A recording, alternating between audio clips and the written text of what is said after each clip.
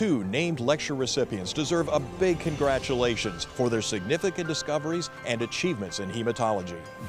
The E. Donnall Thomas Lecture was delivered by Dr. Connie Eaves, who discussed the simple concept yet complex reality of blood stem cells Key advances in hematopoietic stem cell research are showing that it's possible to identify critical molecular features of normal and abnormal human cells with defined growth properties by performing different assessments on single cells with matched surface phenotypes.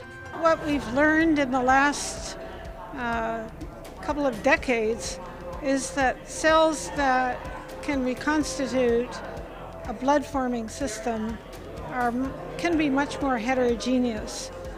We don't know yet exactly how that heterogeneity is controlled, how reversible it is or malleable it is, and what its relevance is to the future of expanding cells that will be used for transplants or manipulating cells in people with small molecules or understanding leukemia but I think this knowledge base is a very important entree into this uh, exciting future.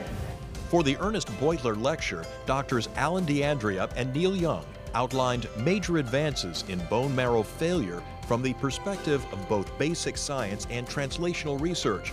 A few decades ago, little was known of aplastic anemia beyond a poor prognosis and limited treatments.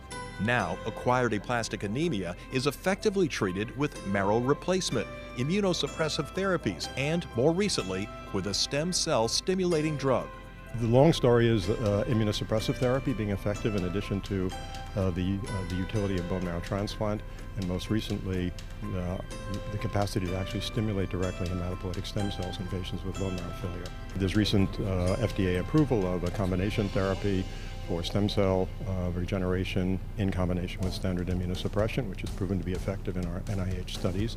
Dr. D'Andrea, who has contributed significantly to the cloning of the genes for Fanconi anemia over the last 30 years, described the molecular basis of inherited bone marrow failure syndromes and emerging opportunities for novel therapies. The encoded proteins work together in a very novel pathway.